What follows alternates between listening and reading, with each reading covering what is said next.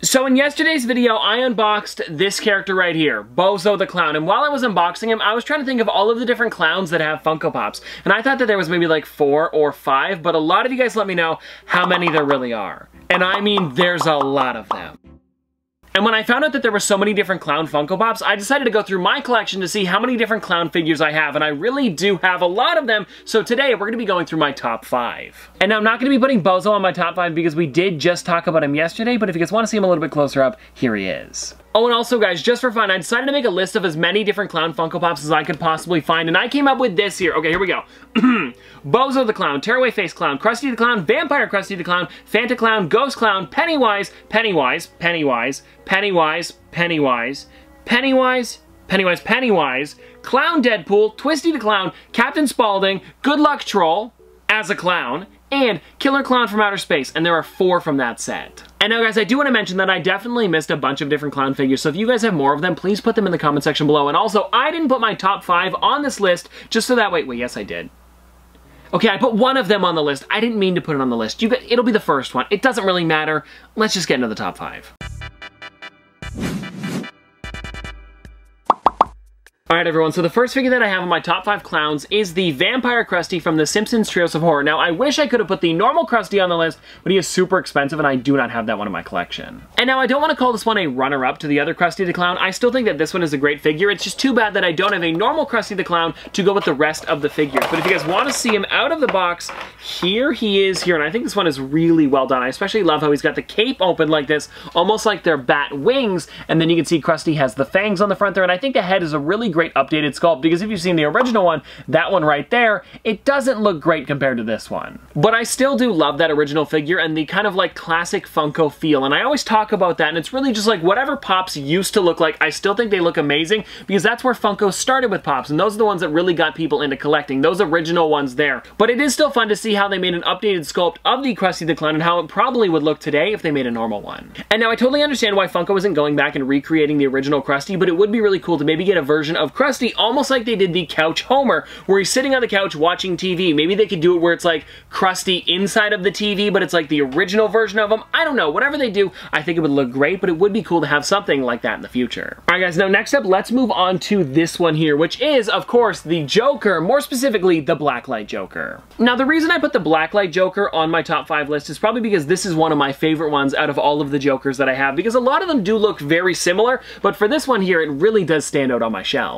And now if you guys want to know the other two in the set, we have Batman as well as Harley Quinn. And it was kind of funny when I was looking up different clowns on Google, a lot of Harley Quinns came up. So is she technically like a clown as well? I don't know. She's more of like a jester in my eyes. I'm not 100% sure about that one, but I'm sure a lot of you guys know better than I do. So if you guys know if she's considered a clown or maybe something else, please let me know. And now one comment that I see about these figures a lot is why don't they just glow in the dark? And it's because they only work under black light. So it's almost like a situational glow in the dark where they only work well, nobody really has just like a big black light laying around. So it really only works at like elementary school dances or a wedding.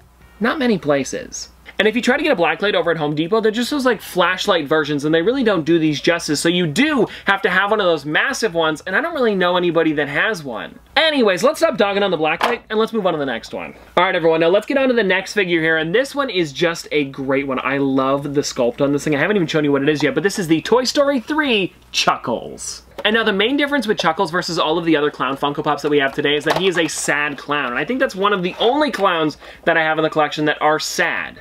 Like none of them are frowning besides this one here. So it is kind of different, but I do like that about the figure. And I mean, if the Funko Pop was happy, it wouldn't really make sense because the only part of his personality that we see throughout the film is him being sad. You know, staring out the window, the rain going down, the very stereotypical I'm sad in a movie kind of scene. But you guys can see here, there he is a little bit closer up, but I really do love the way that Funko did this one because they gave him so many details, even the daisy locket in his hand. And I'm kind of curious, does the head spin on this one? I feel like it does. It just seems like it wouldn't. Yeah, it spin. Ooh, I don't know if I want to do that.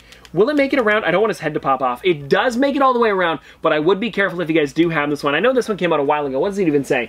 2019, so now two years ago. So not too long, but it is definitely a bit of an older character. But yeah, I really do enjoy this one. And if you guys are wondering why I'm saying be careful, because when you turn it, it kind of lifts itself up a little bit because of the way his frills are around his neck. So it kind of does bend it up. So yeah, if you guys are going to turn his head, definitely be careful because now mine's, I think, a little bit looser, but it's definitely still okay.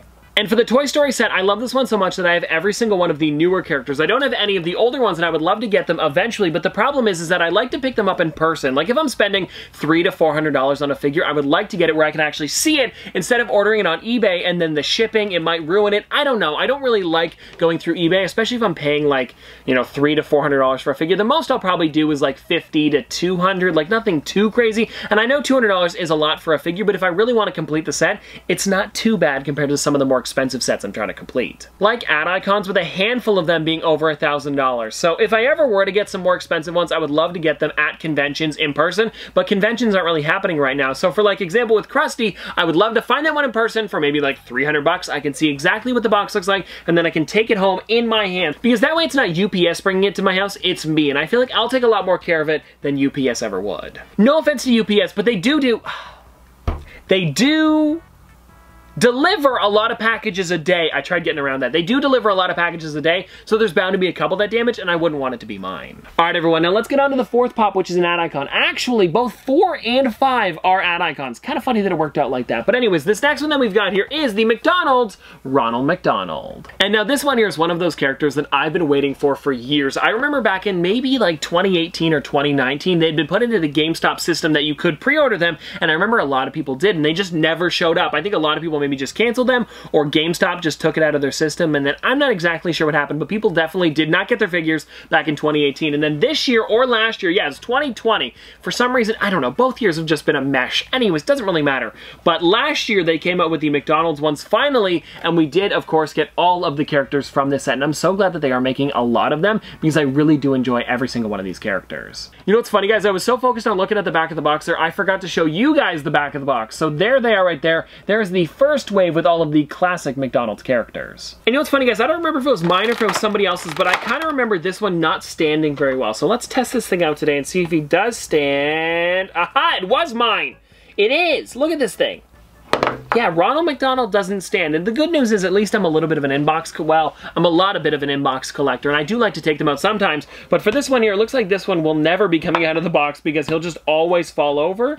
Yeah, this is a bit of a tough one. But if you guys want to see him a little bit closer up, there is the Ronald McDonald right there. And I love that they put a bunch of different M's all over his suit. And you'd think with his massive clown shoes he would be able to stand, but I guess his hair is tilting him back a little bit farther than his shoes ever could hold him up. So when you guys see him there, yeah, like he's definitely leaning with his head. Maybe that's better? No. Oh! Also, his feet are uneven as well. Like if you look at this here, it's hard for you guys to see, but he definitely wobbles when you actually like push down on both of his feet. I wish he stood better, but it's fine. I keep him in the box, so it's not that big of a deal like I said, but it would be nice if he would stand by himself. Oh, and also, there's another version of the Ronald McDonald Funko Pop that came out a little bit later on, which is this one right here. This is the Rock Out Ronald, and I don't know which one I enjoy more. Probably this one, because I like the classic look, but also that M guitar is pretty cool. Alright everyone, so the last ad icon figure that we're going to be taking a look at today is probably my favorite out of all of the different clowns, just because, I don't know, I feel like it translates the best to a Funko Pop, and this one here is the Pez's Peter Pez. And now I've really enjoyed collecting Pez for the last couple of years. I've mostly been getting the Pop Pez recently, but I do also like getting the normal Pez as well, and for this one here, I really do enjoy how Peter Pez is holding a smaller version of his Pez, and if you guys are wondering, this one was exclusive to Toy Tokyo in San Diego 2019, so that would have been San Diego Comic-Con 2019. And I mean, guys, look at this one here. It probably looks the best out of all of them, and I think it's because of the simplistic head that would have to go on a Pez anyways. So to make this into a Funko Pop, it probably wasn't that complicated. And I also really enjoy, like I said, that he's holding a smaller version of his Pez in his hand, very similar to a Youtooz that came out recently. Now, I don't want to say I was copying him. I actually forgot about it, but uh, it is kind of funny that they are very similar. And I feel like besides Bozo, this one is probably the most stereotypical clown out of all of the ones that I've shown off today because he's got those huge pants, the massive shoes, like the big red hat, as well as the entire face paint, it really does look like a clown. And I mean, that's of course what Pez was going for when creating this character, and that's why I think I really enjoy it. And if something kind of weird is that there's a bunch of different Pez characters that Funko created, but for some reason they only put Peter Pez on the back. Well, actually, they didn't put anything. They just put the name Peter Pez under the word Pez. There's also Mimic the Monkey and then the Pez Girl, and I feel like that would have been cool to put on the back, but I guess they just didn't do it. Alright everyone, well that's enough clowning around for today, and I hope you guys enjoyed this video. But also, something that I was wondering is, I've heard that a lot of people have a phobia of clowns, so was anybody scared while watching this video? Especially because there is a lot of clowns in this video, and I mean, a lot of them. And well anyways, I hope you guys enjoyed this video, but before we get out of here, we of course have to spin the wheel, so let's see which store we get today. Mmm, BoxLunch. A good one. You know what guys, while digging around today, I noticed that I don't have that many BoxLunch exclusive pops, and maybe it's because there isn't a BoxLunch near me, so I don't really go to one that often. I have to order them online to get them, but I did pick a good one today, and this is the Rick and Morty's Tiny Rick. And now the reason I chose this one was because I haven't talked about this one in a long time. I don't really show off my Rick and Morty figures enough, and I feel like the last time I talked about this one in a video was when I did all of my Rick and Morty pops. And if you guys want to check out that video, I definitely recommend it because I don't think I've gotten very many since then, or maybe I haven't got any, because there hasn't been many that have been coming out recently. But you guys can see here, there is the Tiny Rick out of the box, and I really do like that he's holding the guitar in his hand and is actually playing the guitar as well as he's sitting on a stool. And also, something kind of interesting about Funko and Rick and Morty is that they actually have the master license for Rick and Morty, which means they create every single product, not just Funko Pops. They make plush, t-shirts, water bottles, pretty much anything you can think of, Funko creates it. Or Loungefly, which Funko recently acquired. So if you guys ever see like backpacks and stuff like that that say Loungefly, they're also created, I guess technically, by Funko. Of course, because Funko owns Loungefly. But anyways, what I'm trying to get at here is I feel like that's why they created so many different Rick and Morty Pops, because they were the only ones that could create Rick and Morty figures. And this right here really does look great. And it's a very odd one,